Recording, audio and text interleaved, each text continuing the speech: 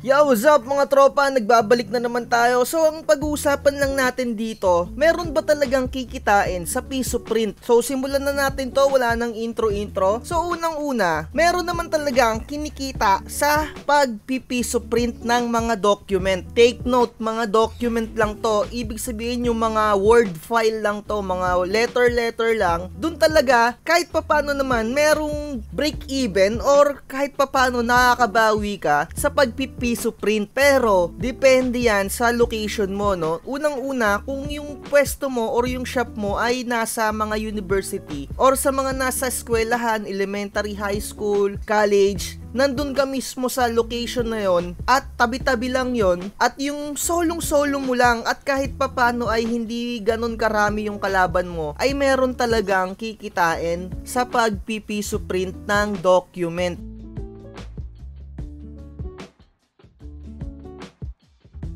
Pero kapag ka mga image-image na yung usapan sa pagpiprint, ay iba na yung presyo dapat na ibibigay mo kasi matagal at madaming ink kahit papano ang makukonsume ng iyong mga printer. So unang-una talakayin natin yung gagamitin yung mga bond paper sa pagpipiso print. So usually sa pagpipiso print, ang ginagamit dyan yung mga mumurahin na bond paper. So dito no makikita natin sa Lazada, ang pinakamura kong nakita na bond paper na napaka nipis ay 138 pesos. Ayan o, 500 pieces na siya or isang rim, short or long. Ang pinaka quality na kahit papano na nakita ko dito, ito ay uh, nasa legit store. Ito, legit store to, hard copy. Ito, 180. So, ito yung mga usually na ginagamit na mga bond paper. Ayan, ito no, quality na to, hard copy na ganito. 180 siya, isang rim. At yung isa naman, yung pinakamura ay 138. Ang gagamitin yung ink sa pagpipiso print, yung pinakamura din na ink. Kasi kung original ink yung gagamitin mo, no, talagang wala kang kikitain. Usually talaga, ang ginagamit talaga sa piso print, hindi usually lagi ang pinakamurang ink. So, gagamit kayo dyan ng dye ink kasi yung dye ink ay pinakamura. Yung mga universal ink na dye ink, yan yung ginagamit pang piso print kasi yung dye ink ay talagang matingkad yung kulay kesa sa mga pigment ink. Yung pigment ink kasi medyo maputla. At hindi yan pwede sa mga piso print. Pwede, pero ma kulay uh, sobrang kulang na kulang yung pagkaitim. Yung dye ink naman talaga na mga universal, okay din yung pagkaitim niya pero hindi siya ganun kaitim sa original. Pero pwedeng pwede na siya pang uh, printing na kulay itim na mga letter letter. So ang nakita kong pinakamura dito ay uh, halagang mga 20 or uh, 30 pesos yung isang bote. So estimate kaya niya nang mag-print ng mga around 4,000 or 3,000 ganon na mga word file. Ibig sabihin mga letter-letter lang, no? So magbabago yung number na yon, estimated number na yon kung magpiprint kayo ng mga picture or mga grayscale na image. So meron akong ginawa dito na computation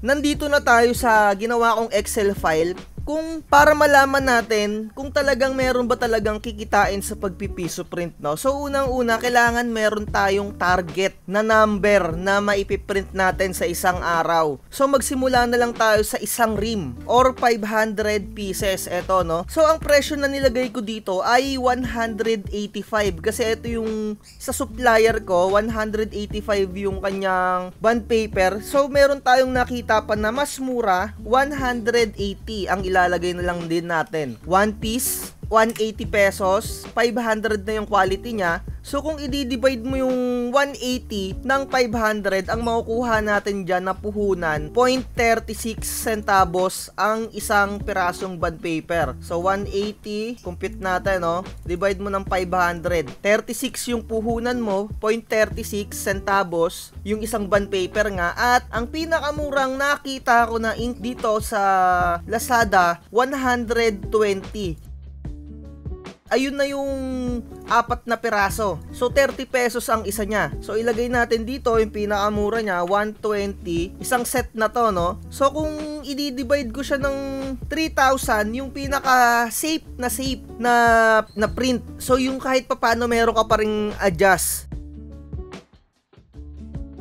So dito nga ang inilagay ko lang dito, kulay black. Pero kung gusto nyo, uh, maggawa rin kayo ng sarili nyong computation. Pero uh, ayun nga, iba yung presyo ng uh, colored at ng black lang. Pero ilalagay na lang din natin siguro dito para mas maganda yung labanan ng presyuhan.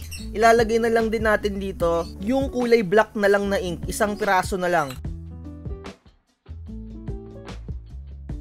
Ayan. So, 30 pesos. Ito yung magiging puhunan mo. 0, uh, 0.01 centavos yung estimated natin na makakapag-print na ng 3,000 pieces. So, inad ko na lang din dito yung sa kuryente, estimate ko na lang din dahil napakalaki ng kuryente dito sa Pinas, napakamahal, no? Uh, ginawa ko 10 centavos na ang aking puhunan kada isang print. Eto nga pala, no, uh, nakadepende rin to sa mga printer na gagamitin nyo. Pero sinasabi ko sa inyo, pagka ang piso print ang gagawin yung business, kailangan pambardagulan talaga yung gamit nyo na printer na which is eto yung isa isasuggest ko sa inyo, Epson 121 or yung Epson 3110 or yung latest na Epson 3210. Ayan yung mga pangbardagulan talaga na printer. Price range niya halagang 5,000 to 8,000. Bakit ito yung napili kong printer no? Dahil itong printer na to napakadali lang palitan ng kanilang mga printer head na which is yung mga printer head ayan yung buhay ng printer mo na pagka naapag-print ka na ng 20,000 or mahigit pa, maaari nang masira yung printer head. May experience mo dyan yung nagkakaroon ng mga linya-linya na mga patlang-patlang na walang kulay. So pagka na-experience mo nun, maintenance na yon papalitan mo na kasi sobrang dami na ng mga na-print mo. So dito hindi na ako naglagay ng uh, puhunan natin kasi in the very long time na lang yon kasi in the future na lang natin uh, papalitan yon na which is ma-accommodate naman ng uh, mga kinita mo na yon no? kasi ang isang printer head nagkakahalaga ng mga 3,000 or mga 2,000 ganyan. Kapag uh, mga ganitong model yung nabibili mo. Pero pagka uh, mga high quality na ng mga printer syempre mahal na yung mga printer head mga 8,500 mga 6,000 ganyan no? Kaya ito talaga yung printer na ilalagay natin pambardagulan talaga. So sa piso print no? Ang magiging puhunan mo dito lalabas ay halos 50 cents. Kaya talaga magsiset talaga tayo ng target natin na 500. Eh paano na lang kung hindi pala kayo nakapwesto sa mga university o sa bahay-bahay lang kayo subdivision. Kung magpipiso print ka, halimbawa sa isang araw eh makaka-30 ka lang na print. So nagpagod ka lang, 'di ba? Meron ka lang 15 na tubo tapos yung 15 naman, uh, ah, 14, ayan yung pambalik puhunan mo, no? 'Di ba? Hindi worth it. Magiging worth it lang yung piso print kung talagang nasa university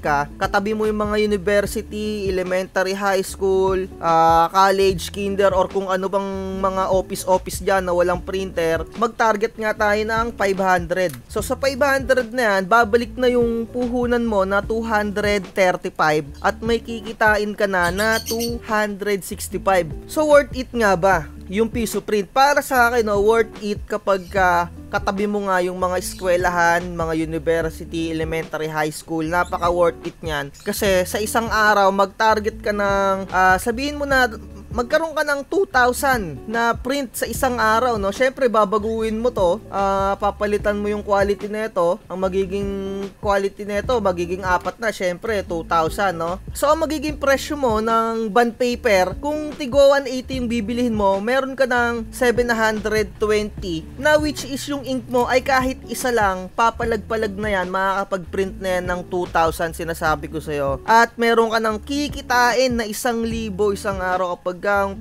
ang pwesto mo talagang sa university. Pero, syempre nandiyan pa rin yung kompetensya, no? Hindi naman uh, maaari na ikaw lang talaga yung nasa pwesto na yun. Napakaswerte mo kung ikaw lang talaga yung nasa pwesto na yun, no? Pwede, pwede mo talagang kitain yung ganito. Napakaswerte mo, napakagad ang pwesto nun. At syempre, hindi naman natin, uh, eto lang yung magiging, ano nyo, uh, market nyo. Pagka may mga image-image, no? Mag-a-add kayo ng 5 piso print na yan kapag ka may image na colored. Uh, syempre, mababago din tong ano nyo dito, yung, yung presyo-presyo nyo dito. Sa ink kasi may colored-colored na. Or yung mga grayscale na image. Yung mga picture pero kulay black lang yung ipiprint. Ayun, magiging additional nyo pang kita yun dito. Pero dapat meron talaga kayong target na print na 2,000. Kasi talagang malalamog talaga yung printer nyo dyan. Sinasabi ko sa inyo. Kaya yung kikitain nyo na isang libo na yan sa isang araw, no, maglalaan ka na dyan pambili ng printer head kasi talagang malalamog talaga yung printer head mo. Ayun, no, sana nagkakaroon kayo ng idea sa pagpipiso print. Nakita naman natin kung nasa bahay-bahay ka lang, nako, wag ka nang sumabay sa piso print kasi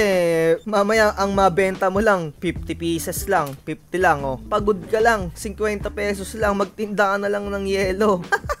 dapat talaga may target ka na 2,000 a day yan. Para maganda-ganda yung labanan sa'yo magpapaprint yung mga estudyante. Syempre may mga iba ka pang uh, business, laminate or kung ano-ano pa. Ayan, sana nagkaroon kayo ng idea sa pagpipiso print at kung naiinggit kayo, kung kaya nyong sabayan yung piso print, sabayan nyo, bahala kayo sa buhay nyo. Kasi yung piso print, ayan din yung isa sa mga nakakapagpabagsak ng printing business natin. No? Ayan. Pero napakaganda naman talaga nito kapag ka nasa university ka talaga, talagang makukuha mo talaga yung market kung sa ibang katabi mong stall ay napakamahal, 5 piso or 3 or kung ano man. Pero, syempre, isipin mo na rin yung quality ng kayang ibigay mo sa pagpiprint mo. Kailangan talagang maganda. At sinasabi ko sa iyo, itong Epson 121, pang document printing lang talaga yan, hindi yan pwedeng pang mga photo paper. At itong 3210, ayan, napakaganda na rin yan dahil meron na siyang photocopy or yung Xerox na tinatawag, no. So, ayan, sana nagkaroon kayo ng idea sa pagpipiso print. Uh, tignan nyo na lang yung computation ko, no. Tandaan nyo na lang, no. Ito yung mga input, ayan. Halimbawa, syempre, nagsisimula ka pa lang, isa pa lang yung bibilihin mo. Target mo, 500, kailangan mo ubus mo yon Break even, no no, may kalahati kang kita. Syempre 500 yung ipiprint mo, napakatagal din yan i-print. Hindi ko pa nga isinama dito yung pagod, no? 'Di ba yung pagod kahit pa paano. Ah, uh, nakadagdag din yun sa mga ano natin. Dito hindi ko na nilagay, wala ka ng effort diyan. Print print ka na lang talaga uh, maganda tong mga print-print na to sa mga of print sa mga print ng thesis. Ayan, usually walang mga image-image yan. Talagang mga letter-letter lang, no? Napakaganda niya. Kasi iba yung presyuhan kapag may mga image na. Pwedeng dos pag black lang or pwedeng 5 piso pag colored. So, ayun, sana nagka-idea kayo. At next video, uh, i-share ko naman kung magkano talaga yung magandang presyuhan ng printing business. Yung talagang saktong-sakto lang. At eto rin yung magkano ako sin- nagsisingil, no? Ayan din yung mga presyo ko next video ipopost natin.